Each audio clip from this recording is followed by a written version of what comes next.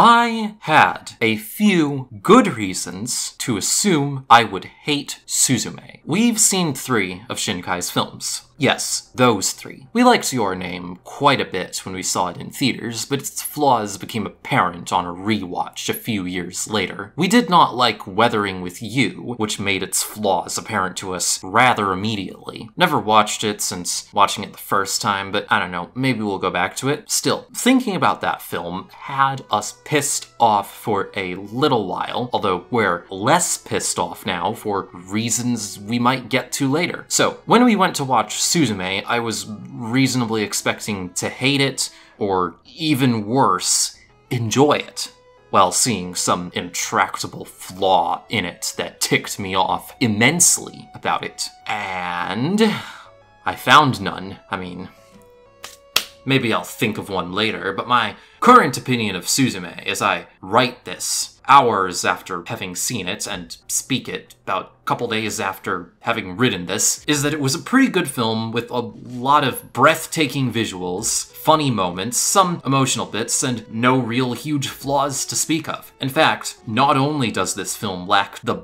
biggest flaws of its predecessors, it's also got a few things about it that I appreciate more. First thing I liked immediately girl. I mean, her name is the title. It's no secret that we of the joystick system appreciate beautiful anime girls, and this particular such beautiful anime girl is good, both as the protagonist of the film who does all the proactive things to say the guy, which is different from the last movies where the guy did all that stuff. I'm not gonna pretend like Shinkai is some kind of feminist icon now for correctly giving a female character some goddamn agency, but it's a nice touch for us personally, given that we like girls. It helps that Suzume is emotional and interesting and funny and has a pretty good arc throughout the movie, and her voice actress does a good job. No, we did not watch the dub. Probably talk a bit more about her later, but I think she's good. I think it's important to mention with regards to this girl that she was apparently supposed to be gay. This information came to light in the English speaking anime community after a Japanese entertainment journalist tweeted a tweet saying as much, and then professional translator Mugi went and tweeted about it in turn, citing this journalist as a source. I can't find this chain goes back any further than that, although I tried to out of personal interest because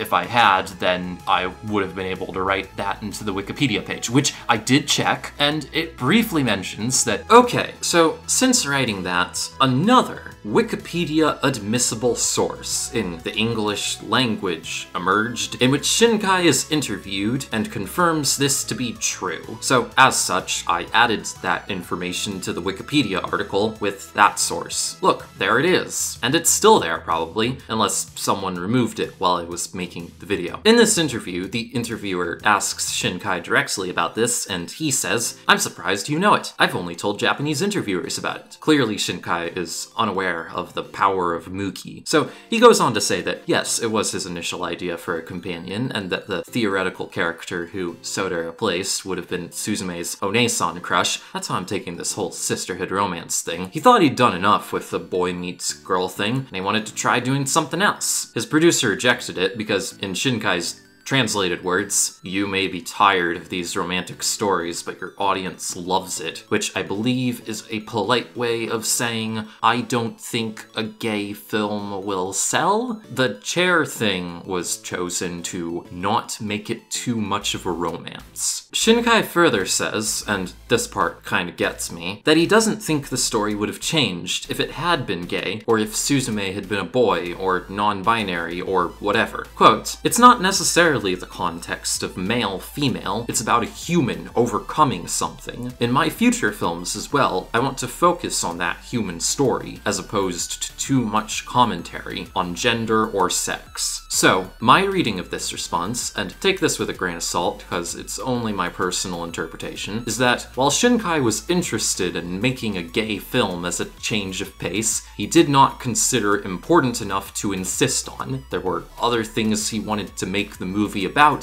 and he didn't want to die on the gay hill. And, you know, that that's a shame. But I think it's fair enough. I would have liked to see the alternate timeline where no one stopped him from making the film gay, but if it wasn't already clear, I like the film that we got, and I don't fault Shinkai for having other priorities as a director, like, for instance, getting his film funded and keeping his job. And honestly, I can halfway see the merit in not making it a gay film, because then it'd be a lot harder to, you know, address the themes without addressing whatever gay discourse there'd be that overshadows the themes. I don't say this to be like, oh, the film would have been just been gay and that would have been bad. No, it would have been good for the film to be gay. I just mean that a lot of the time people are more concerned about there being representation rather than the quality of the story in which the representation exists, and it becomes the gay thing rather than the thing that happens to be gay. And that's not always great. I mean, I guess we are getting a little bit of that just off of the knowledge that the film could have been gay, but at least I don't have to think about talking about it too much much past this point because it's, you know, not actually in the film. Shinkai said other stuff too, I guess, about the animation and how the characters have different color palettes for daytime and evening and night scenes, which explains the very convincingly presented amusement park scene that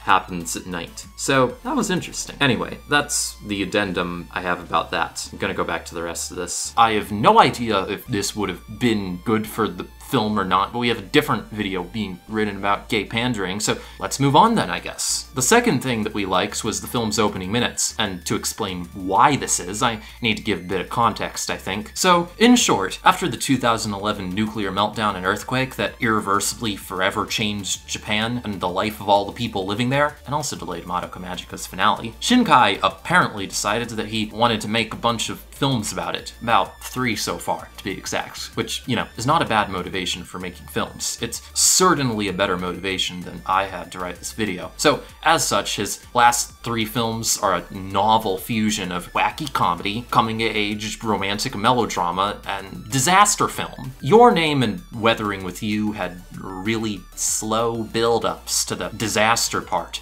of the disaster film, to the point that mentioning it is almost a spoiler. But I'm going to assume it isn't because everyone has now seen those films. So they have a whole first half where it's just kind of weird, supernatural, romantic comedy slice of life hijinks, but then it abruptly tone shifts in the second half. This is actually, I think, the source of both of these films' major issues. It's kind of cool to watch them the first time and then see the story's tone shift when the mid movie plot twist happens, introducing the big disaster scenario aspect of the story along with it. But the drawback to that approach is that you have, in essence, a movie whose plot twist is that it becomes a different movie. This both contributes to the odd tonal whiplash and also means that the supernatural disaster part of the film is weaker and not as well fleshed out as it could be. Suzume, on the other hand, smartly introduces the main conflict of the story in the first act of the movie. This choice is good. The serious existential threat to Japan stuff that the film is about is the immediate focus of the film. This allows for a more balanced tone, as then the movie can comfortably use its comedic parts to add levity to its treatment of that harrowing topic, rather than the existential stuff coming in like a sledgehammer to break a previously comfortable tone. Which I should say is a thing you can do, and is a valid choice to tell a story. I, I just don't think it was necessarily a choice that Shinkai handled well before. The pacing is much improved, as the supernatural aspects of the film are more evenly developed, and the story has more time to explain itself, mostly. There's like one scene I don't get. I'll get to it. Anyway, the end result of this choice is that Suzume feels like a much more focused and complete film, rather than two halves of different films. And I appreciate this a lot. I can see this choice. Maybe, maybe, maybe making the movie less interesting to some people because it's paced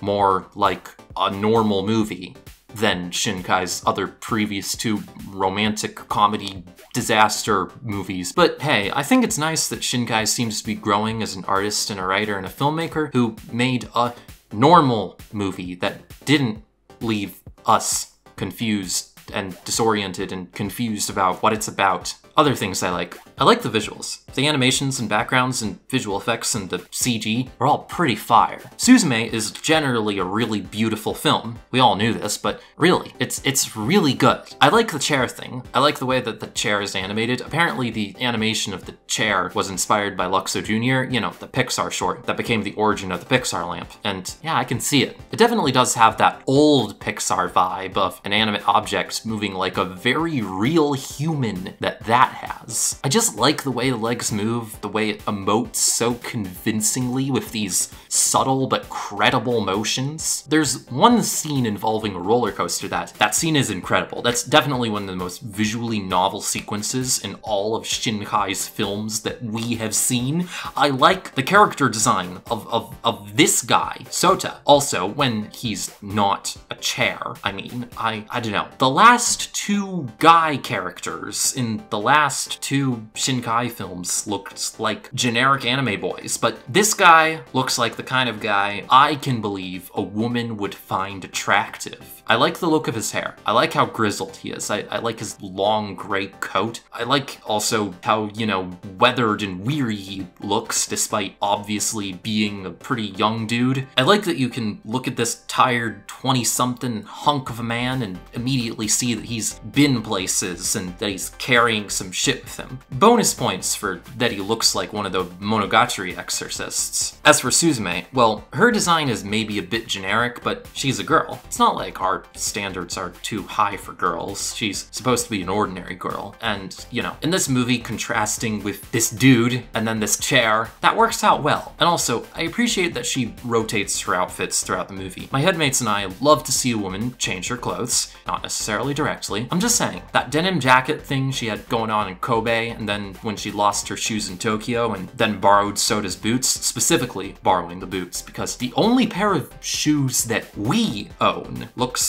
like this. It's a small thing, but like, Shinkai couldn't make Suzume gay. Widespread trans representation in anime is a bit far off. I might well be eating off the floor, conjuring table scraps, pointing at a woman in a man's shoes and saying, Oi, isn't it gender? But like, one, it's a woman wearing a man's shoes, and two, yes, it is gender, and we like the gender. You cannot stop us. We did get to see the movie a second time with a friend. Thank you for seeing the movie with us and reviewing our script. And she insisted that the boots are femme-coded, and we disagree, unfortunately. I'm sorry. We cannot see these boots as anything but gender. However, it is Shinkai's fault that Onimai exists. That scene in Onimai is definitely influenced by that scene in Your Name. We know this because Neko Tofu said so in interviews. Onimai is very good and based and funny, and this is a fact upon which I, and all of my headmates, equally quite agree. It's nice to agree on something with all of yourself. Speaking of the opening scene in Your Name, Shinkai did not sexualize Suzume. So, if you hated that scene of Your Name, there's none of that. There's no chair peeping on Suzume or anything like that. So, if that knowledge helps you somehow, now you know.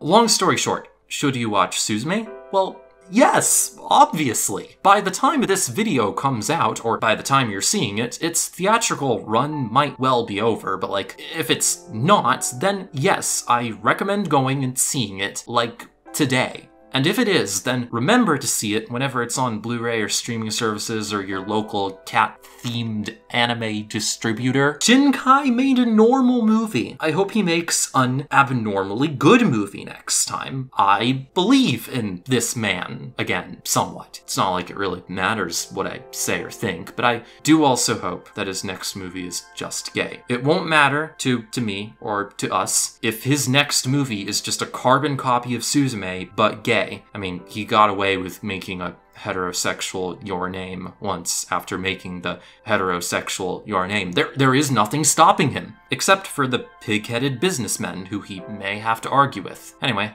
that's that. I'm done with the spoiler-free talk. I guess I'm going to talk more specifically about the plot now, so if you didn't see the movie, then leave now if you care. If you did see the movie or do not plan to see the movie, then uh, don't leave, please. Going to put Patreon credits here. It is it is not the end of the video. Please do not leave. Hello everyone, this is Audrey of the Joystick System, the name of the brain that I'm the lead woman of. We're still a plural system, as I've not forgotten thanks to Lucy and all my headmates. As I already said, we saw Suzume a second time with a friend. As of this speaking, it continues to play in movie theaters, at least where we are, although it's not showing nearly as often and probably not in as many places. Nonetheless, if it's still playing in your area, I obviously very much recommend it if you have the time and money to see it a second time after seeing the first time. I think you should see it a second time because it's good. One thing I'd really like to change about this video overall is the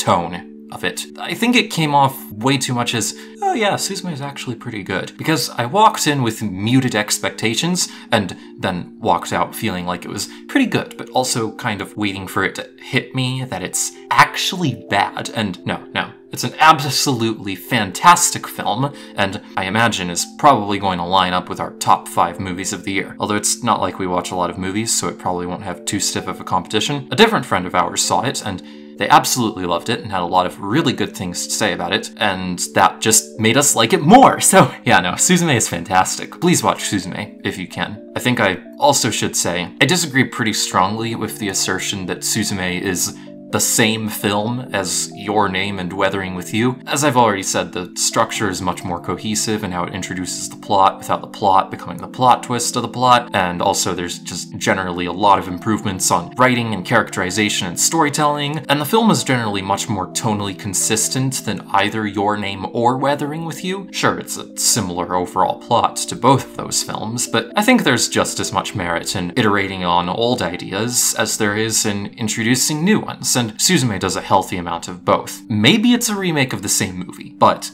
if that's so, Suzume is definitely the best version of that movie, in my opinion. And I think the growth Shinkai went through as a director and a writer to get there is crystal clear. And, as I hope I'm about to make clear, the thematic weight of the film is much stronger as well. The decreased focus on the romance subplot helped a whole lot in that regard, I think, to bring the themes into greater focus. And gosh, is the film really thematically good on top of being so well structured and written and visually spectacular. I walked into Suzume expecting it to be bad. I spent like two weeks while writing the script and making the video, trying to think of flaws in this movie, and I can really only think of like two, which are one, that it's not gay, and two, that some minor plot details are maybe a small bit inscrutable. But neither of those things actively bring the film down. It's just great. And if we had the time to watch the film a third time and do a complete rewrite of the script, I'd probably change the tone I took with it, but you know what? Gotta say a thing. I've left people waiting long enough. This movie won't be in theaters forever, so it's good enough. Good enough is perfectly good enough. Also, the music was really good. It was a lot less intrusive than in Your Name and Weathering with You. Those two films really love going all ham on their mid-movie insert song sequences.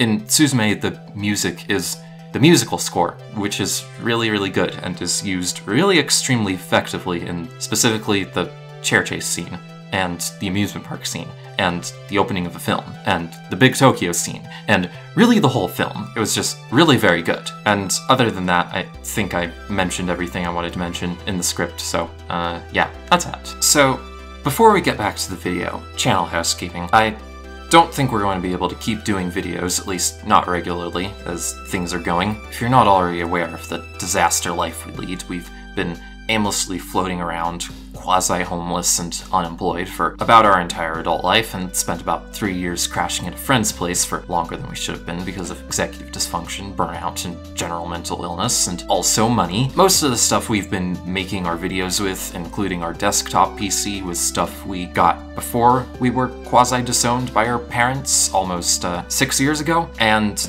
the rest of it is stuff we have very not hyperbolically emptied our bank account because we kinda needed it. So, if that stuff breaks, and it's going to eventually, we'll be on even more hiatus until further notice. Obviously this is pretty untenable, so we're going to have to try to get a job, and I don't see great odds of that working out for our transgender, neurodivergent, fail woman child self, and it's obviously going to mean we have less time to make videos and write things. Naturally, the stress of this unstable situation has already been doing that job, but you know. So, if you want to help even our odds, uh, Ko-fi or Patreon. That is currently our only source of income, and even a little bit extra would make a pretty big difference for us day to day. You can send us monthly donations through either, although they take a smaller cut on Ko-fi, so there's that. Ko-fi is also the place for giving us money one time as opposed to regularly. As for what you get out of this, well, besides the obvious your name here and access to our Discord, you will earn our gratitude, and also we will feel indebted to you, which will lead us to keep trying to do our best to keep making things. And also, if you ever encounter us in person, we'll give you a hug if you want one, as long as you're not, like, creepy about it. Is that everything? Yeah, that is everything. Here's the names of all the important people who gave us some of the most money recently. Bree, Hikari no Yume, El Tantavi, Pigeon, Sally, Scimitar, and Tiss. Anyway, that's that. Thanks to all of you, named on screen and vocally, and also those of you not named who've been watching or encouraging us personally for your support. Now, back to the normal part of the video. Spoilers for Suzume from here on, obviously. Okay, so spoilers. Plot of this movie. I'm just gonna steal bits of the Wikipedia summary because I don't want to write a plot summary myself and get waylaid and forget what the script is even about. Suzume Iwato is a 17 year old high school girl who lives with her maternal aunt in Kyushu. One night, she dreams of searching for her mother, who it's inferred later died in tsunami. As a child in a ruined neighborhood, the next morning, while headed for school, Suzume encounters a young man searching for abandoned areas with doors. He then is cursed to turn into a chair by a kitty cat who desires love, and she runs away from home with him, and he explains that these doors and all these abandoned places are doors to an alternate dimension that occasionally let out supernatural beings called worms that do earthquakes, and they need to do the right rituals to close the door properly. So their journey across Japan to prevent the earthquakes and also get Sota back out of being a chair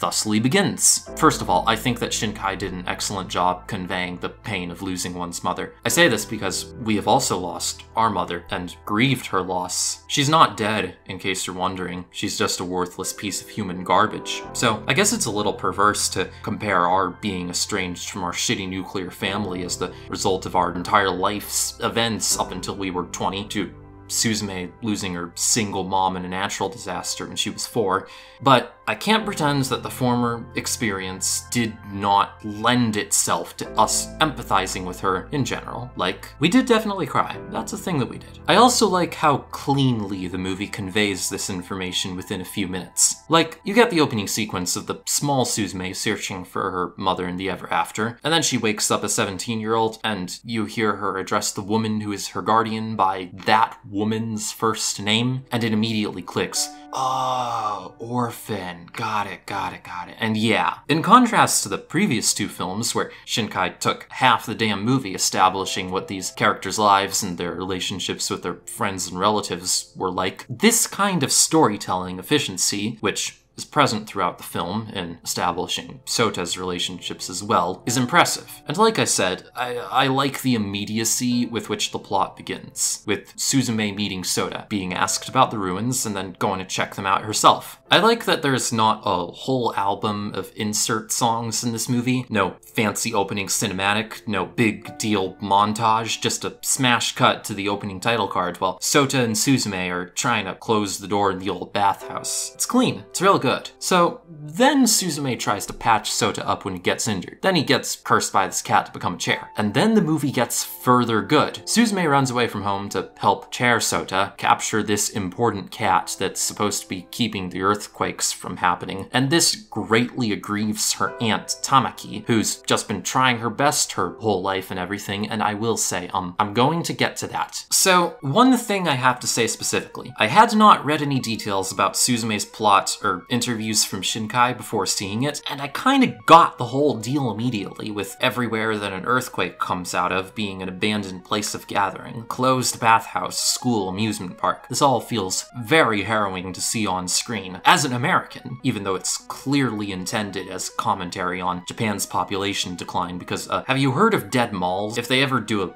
an American live action version of Suzume, it'll be about them visiting abandoned shopping malls, probably please do not do that. But like, yeah, like we live in Portland, Oregon, and compared to having grown up in pre-COVID Philadelphia most of our life, post-COVID Portland feels like a ghost town. Like, it's not actually. There's obviously still people who live here, and I don't mean that derogatorily because we love Portland and we'd like to keep living here if possible, not the least because we get easy access to HRT. But there's a lot of closed and abandoned places in Portland, so many empty areas and businesses that have been boarded up and closed to the point that at times wandering through downtown Portland almost feels like living in an open world video game where most of the buildings don't have designed interiors. Places that all clearly closed within the last three or four years with their signage up and everything. Places that are left in stasis to lie disused or else be reclaimed by the homeless until the homeless get chased out by the cops. It's all just really. whack. makes us sad to see this place, this whole country really be stuck in this kind of disgusting degradation while our government fails to provide for us, let alone adapt to the challenges ahead of us, just leaves all these places where people lived, where people are living now to stagnate and stand like zombies of a past we can't go back to. There's a scene in Heathers, one of our favorite movies of all time, where the main antagonist, JD, has a whole emotional reflection on how the stability of this franchised commercial convenience store enterprise has kept him feeling like there's continuity in his life, and yeah, it's kind of a feeling. Dallas, Baton Rouge, Vegas, Sherwood, Ohio. has always been a snappy snack shack. Any town, any time. You pop a ham and cheese in the microwave and feast on a turbo dog. Keeps me sane. Really? Like, it's UEG. Because obviously, as an anti capitalist, we kind of dislike these sorts of places. The shopping centers, the strip malls, the gas stations. We're, we're against all of this bullshit on principle. These places are all kind of intensely hostile to life in general. But also, these places are a part of the world we live in, and they are stable, relatively. They are kind of the only way we've known the world to be. And it's sad to see that stability be ever so more greatly upset by the pandemic and the everything with nothing on the horizon to replace it. And if and when we see this kind of stability disappear completely, it'll be sad, even if it is by some miracle replaced by something better. We'll probably miss something about wandering these gross, heavily commercialized, disgustingly homogenized nightmare places that have been cannibalizing our communities this whole time. Yeah, we hate it, but it's where we live, and we're not immune to nostalgia. Nostalgia is just a nicer word for grief. And this same very such weg feeling is very much echoed in Suzume. There's this deep and palpable grief for these places and the people who used to live here felt in this film, and inherent in expressing that grief is Shinkai's expression of the, you know, important stage of grief, i.e., acceptance. Because to close the doors, Suzume and Sota have to not just you know, close them, but also think of all the feelings and experiences of the people who used to live in those places and then let go. When the amusement park scene happens, the Ferris wheel starts moving and Suzume is drawn in by the image of the ghosts of the people who once rode it. Sota starts yelling for her to stop, to not go in, not the least because she can't see what she's doing and is putting herself in danger, but also because she cannot go back. Those people who used to sit in that Ferris wheel, laughing, crying, living in this place, cannot come back. Suzume can't go back no one can. This past can't be gone back to. Okay, so one thing I missed when I saw the film the second time. When Suzume was drawn into the ever after through the Ferris wheel door, she was seeing herself of the future in there, and that was foreshadowing the end of the film. I'm I'm keeping this part anyway, because the emotional impact of that scene was still as described, even if this plot foreshadowing bit was something I missed the first time seeing the film. I read a few English language interview articles with Shinkai talking about Suzume right after seeing the film, both because I wanted clarification before I ran my mouth on two things one, I wanted clarification on what the cat wanted. I'll get to him. Two, I wanted to be sure my interpretation of the doors thing was on point, which it was. Shinkai talks in one of these interviews about how when COVID was happening and Japan was still trying to have the Olympics happen, it felt really irresponsible and bad, and he did not agree with this. He says, and I quote, You are opening this new door and not sure of what's on the other side without bringing closure or understanding or coming to terms with what's behind you. I want to say a lot of the Japanese population felt the same way.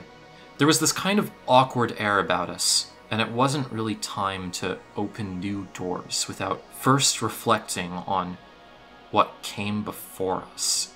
And like, yeah, I agree. I just really, really agree with this. It is indeed what I took away from the film before I read this interview. Suzume spends this entire movie reflecting on the past and trying to grow beyond that, and ultimately the one door that she opens on purpose is the one that she decides to open intentionally after reflecting on what brought her to this point and deciding what she needs to do and like uh, I'm just saying.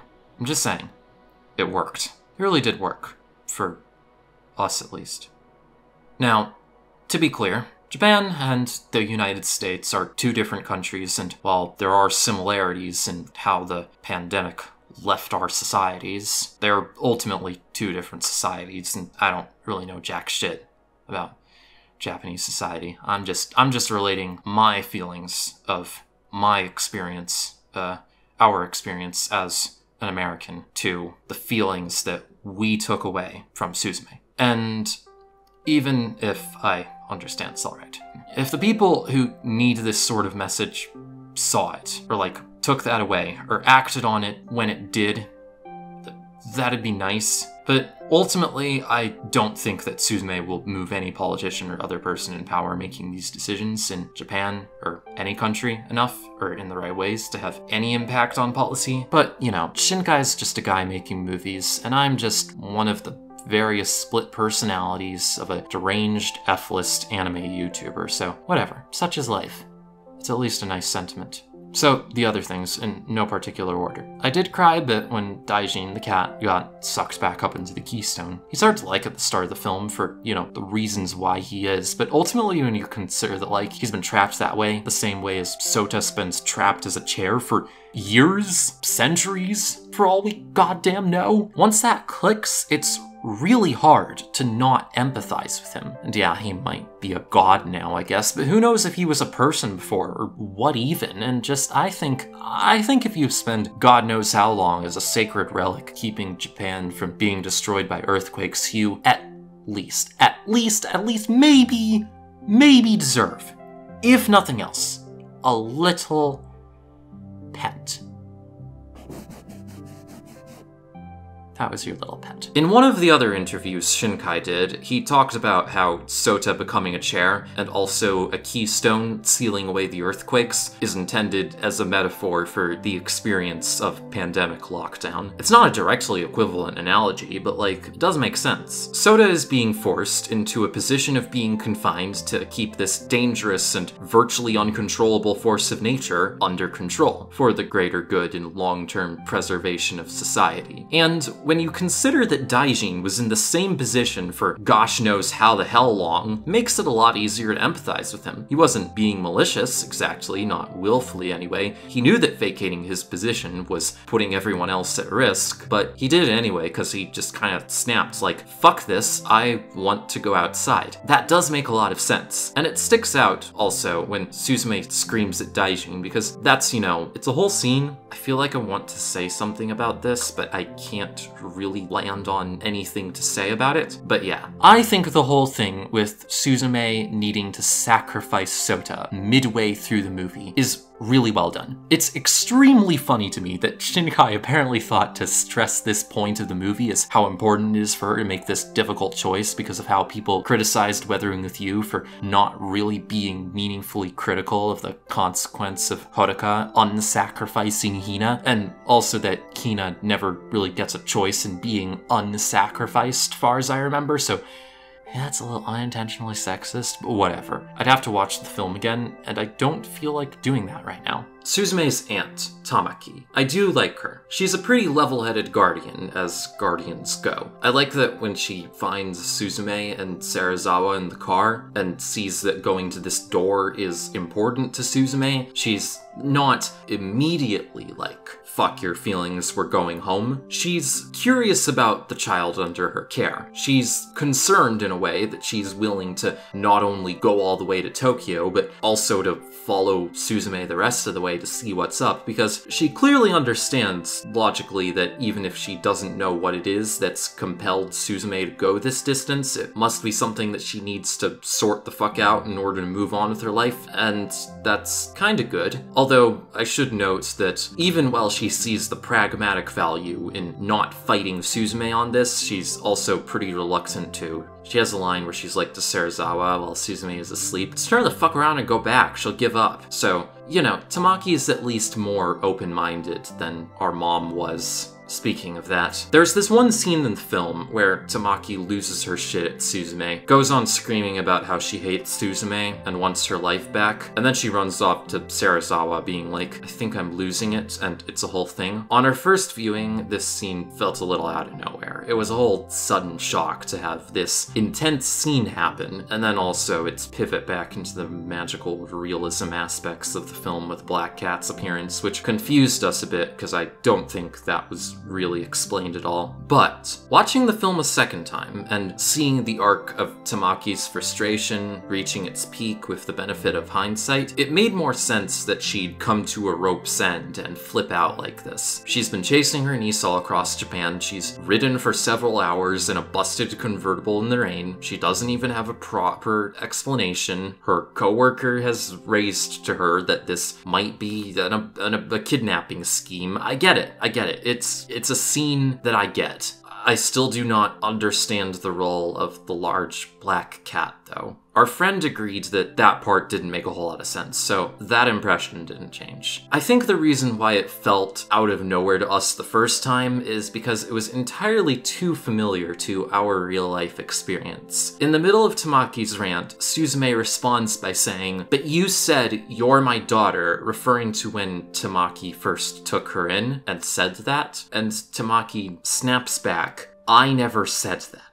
Our mother also did this exact kind of thing, vehemently denying that she said and did things that we definitely remembered her saying and doing. There's a word for this. It's it's called gaslighting. Living with someone who denies you this much, who makes you question your memory and your sanity and your general perception of the world this much by forcing their own grief onto you like this is just really simply awful. Throughout our childhood, we heard our mom say similar shit to us numerous times that we were a horrible, and incorrigible child, that she hated us for ruining her family, that she wished she'd aborted us, all those sorts of things. The tone of Tamaki's unadulterated rage in this dialogue was all too familiar to those memories, so yeah, on both viewings, we were very uncomfortable. Even knowing it was coming the second time around, it kind of caused us to actively recoil in our seat to the point that our friend who we were seeing it with noticed our reaction and held out a stuffed animal she'd brought with her for us to pet. So, um, yeah, that specific scene may or may not have triggered the PTSD that we may or may not have. Tamaki does apologize for this later, and she also debatably gets a bit of a pass for this since she's not Suzume's mother, and thus cannot reasonably wish that she had aborted Suzume, but can instead wish that she'd not done the unambiguously good deed of keeping Suzume out of the Japanese child welfare system, which I can't imagine is a good experience for a child. I don't imagine any country's child welfare system under capitalism to be a good experience for a child, but you know, well, we're also kind of entirely opposed to the traditional family structure and the basic premise of parents in general, because giving only one or two people total power over a vulnerable young human life is not an ethical tradition to have in any case, but, like, that's something for some other video. In an interview with Deadline, Shinkai talks about this scene, specifically quoting the give me back my life part, and he says that on some level, all parents feel that way to their kids, and that while he acknowledges it isn't by any means acceptable to ever say that kind of stuff to a child, it is, you know, a feeling that is there that he poured into it, and that he wanted to be there for the parents in the audience who ever felt that way and regretted it. This is how we found out that Makoto Shinkai apparently is not single and does in fact have a child. He also says in this other interview with The Verge that he wanted the film to provide for an opportunity for people of different generations to emotionally connect with each other. He wanted this to be a movie that you could watch with your mom, in other words. So, in that context, I really understand why this scene is here. It's serving the purpose of setting up that emotional bridge, that door between Suzume and Tamaki, these characters of two different generations who ultimately come to understand one another, with the hope that audiences in a similar emotional position might come away from the film having felt some sense of healing by way of you know, getting that. And also Shinkai talks about how the idealized nuclear family structure is not a thing that's tenable or possible for a lot of families in Japanese society. It's not very tenable for a lot of people in American society either. So I recognize the intent of this scene. I think it's commendable, even. If there is a parent and child out there who saw Suzume together on whom this had the intended impact, I think that that's wonderful. I sincerely hope that they exist. Even still, we were a child who regularly had this sort of thing said to our face by our real life mother and tried in good faith many times over the years to repair our increasingly fraught relationship with her and failed. I am deeply, regrettably cynical about familial relationships because of our traumatic experience with our own family. Our mother is not the sort of person who would come to meaningfully empathize with us through seeing this film. And we really fucking hate her, so yeah, this scene is difficult to watch. It's difficult for us personally to feel any sympathy for Tamaki when she's saying that kind of stuff to Suzume, and once it was over, I could only really kind of feel glad that it was over. But it's not like it's the film's fault that our parents were bad. I don't think our reaction was intended. It just happened. It just happens sometimes that different people, other than who the thing was written for, react to things differently. That doesn't make the scene bad or any less valuable to include. And I do think that Tamaki's relationship with Suzume is portrayed pretty well and with a surprising degree of nuance. It's good. Tamaki is a good character and she means well. And I do like what Shinkai said in that Verge interview about wanting to portray other family structures. However, I think that their relationship would work better if she was gay, because honestly, that entire get out of my life speech would hit a lot more and probably work a lot better in the context of being directed at a gay teenager rather than an assumed heterosexual one. But hey, we thought we were heterosexual for most of our life, so who's to say much of anything? Was there anything else I forgot to talk about? Um, we cried at the end of the film, both times we saw it. And also, while this film couldn't have improved our relationship with our mother, it did serve as a very good bonding experience with our friend. I'm really glad we took her to see it. She really likes the scenes where Suzume sits and steps on Sota as a chair, that that was clever, that they took the opportunity to get away with that with him as a chair. And she also agreed that the chair in general was really well portrayed visually. She also cried at the end. The heterosexual chair film made a lesbian cry. Two lesbians cry. I'm not going to say anything more than that. Thank you to everyone who watched this entire video. I have an excuse to do a bad job editing it now because there's not that much footage of Suzume available and it's all gonna get me copyright striked anyway. To summarize, Suzume good. Suzume. Watch Suzume. I've been Audrey of the joystick system and I did not hate Suzume. Thank you. Good night.